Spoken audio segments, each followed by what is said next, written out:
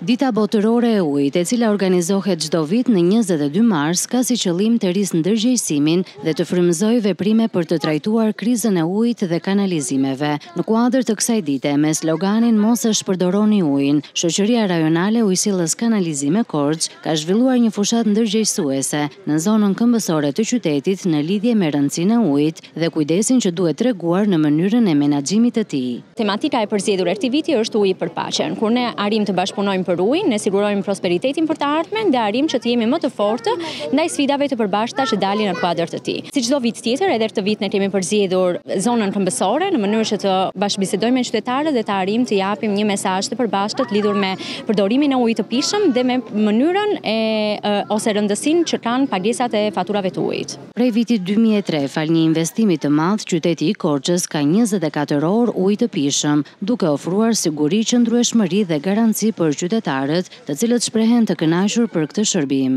Po si të them, unë për veten time kursej, edhe jam shumë i rregullt edhe në borxhin që kam karshi shtetit, me ç'dëgjojmë në televizor që japin e besoj se jemi shumë më mirë nga të tjerët. Edhe kur lajnë dhembët ta mbyllin atë të mbarojnë edhe pastaj. Duhet ta kursejnë, duhet të mos e shpërdorojnë, duhet të jenë sa më racional. Prej njëzet vitesh Korça është një qytet model sa i përket shërbimit të furnizimit me ujë të pijshëm, duke u siguruar qytetarëve ujë njëzet e katër orë. Me rajonalizimin e shoqërisë së ujësjellës kanalizime, synimi është që ky model të shtrihet edhe tek njësitë e tjera.